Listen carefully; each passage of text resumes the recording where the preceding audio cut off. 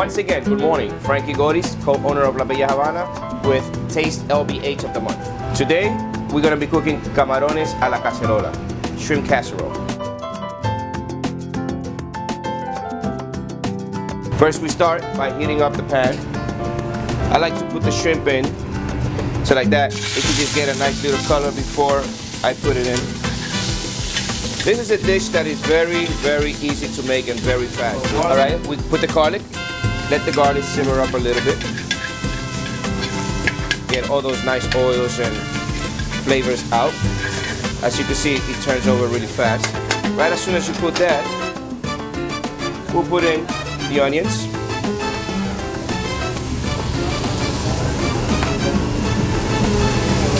Peppers, red and green. Just flip it over a little bit. Just let it cook for about a, about a minute. Because this is going to cook more once you put the rice and once you put the, the sauce, the tomato sauce. I always like to simmer, especially the shrimp casserole, with a little bit of white wine.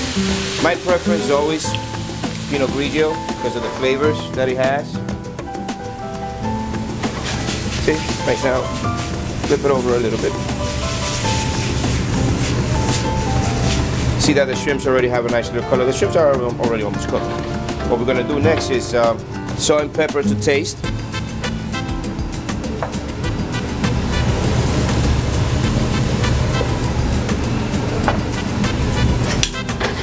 Again, marry those great flavors that is there. If you were here, you would smell how great all these components get when they're all together. You can just smell it. Now, as you can see, take over a little bit of uh, tomato sauce. Is just regular tomato, crushed tomato sauce.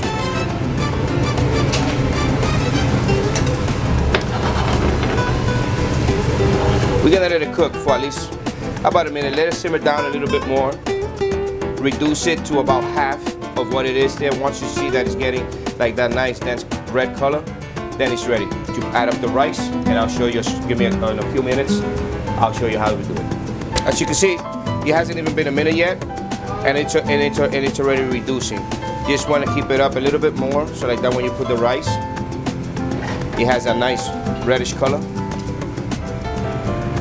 Okay, and now we continue to proceed with adding up the rice. Just put the rice, you can put it right in the middle, just banging it around. This is about a cup and a half.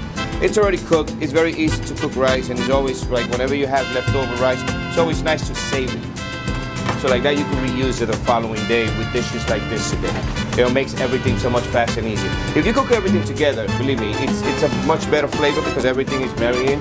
But at the restaurant, it tastes the same. Make sure that everything is nice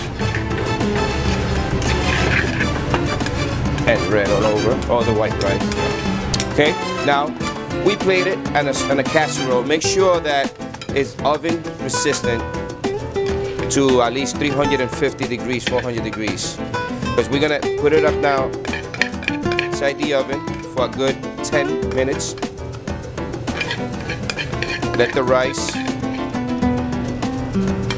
settle in with the shrimps and give it a nice crunchy little taste that it gets while it cooks on the oven. And now we put it in the oven around 350, 375 degrees. Leave it there for about seven to eight minutes, maybe 10 minutes, depending on how the quantity of the rice that you have, how big the pot is. But since this is a portion for about two people, this is pretty much good enough. Now, it's been already seven minutes.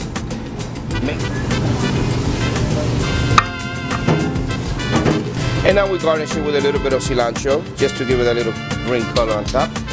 And ladies and gentlemen, here we go. Que le aproveche. Camarones a la cacerola. Buen provecho.